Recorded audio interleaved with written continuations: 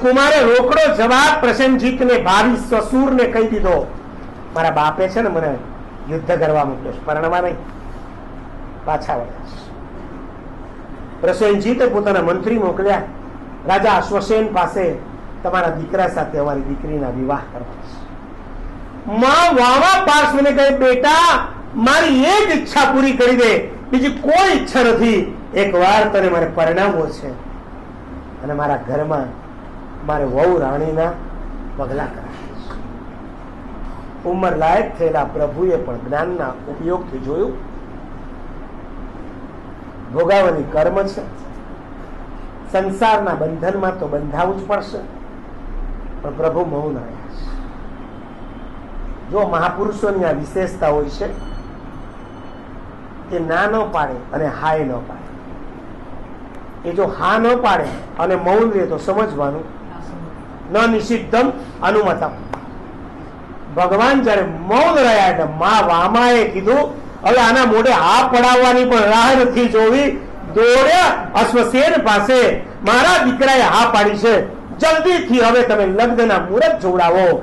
અને રાણી વામાના કહેવાથી અશ્વસેને પ્રસેનજીતને સમાચાર આપ્યા.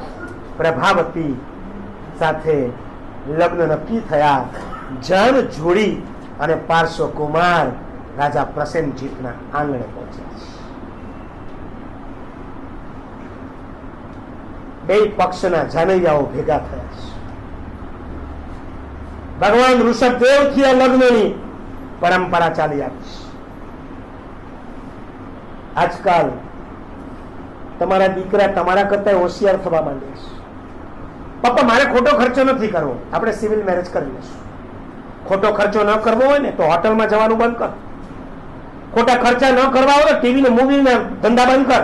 ખોટા ખર્ચા ન કરવા હોય હિલ સ્ટેશનમાં ફરવા જવાનું બંધ કરો. ખોટા ખર્ચા ન કરવા હોય, લગ્ન પછી જો હનીમૂન કરવા માટે પરદેશમાં જાઓ છો, લાખો રૂપિયાના પાણી કરીને આવો છો, એ બંધ કરો. લગ્ન હંમેશા જાહેરમાં થતા હતા. પચાસ લાવો કે પાંચસો લાવો એ બહુ મહત્વનું નહોતું.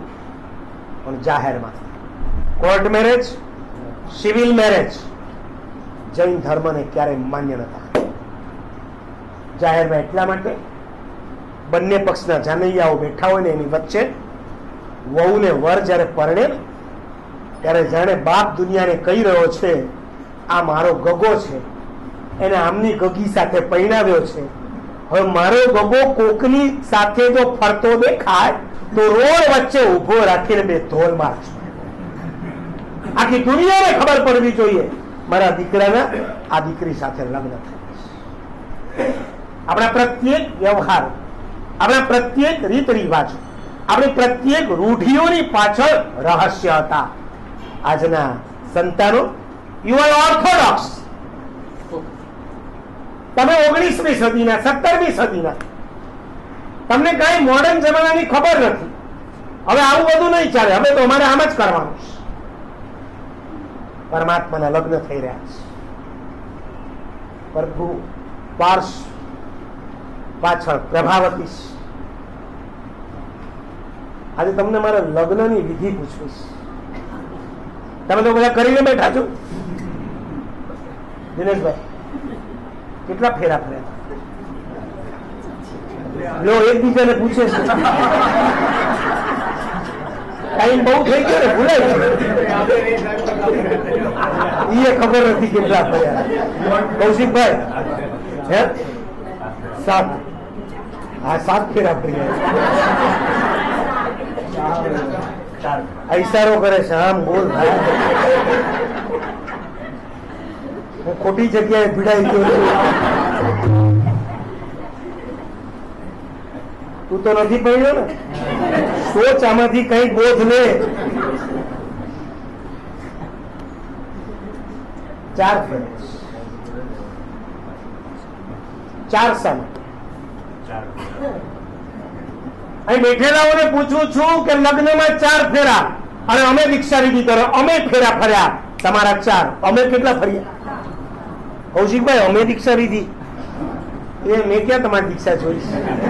કોકની તો જોઈ હશે ને નહીં ક્યારે? જીવનમાં દીક્ષા. ધ્યાનથી જોઈ છે? ઓકે મલબાર વાળા દીક્ષા નથી એમના સંગવાનો દીક્ષા ચાર ચાર હા પણ એ વખતે વહીવટમાં હતા. સાધુ દીક્ષા લઈએ કેટલા ફેરા? ત્રણ. તમે લગ્ન કરો કેટલા?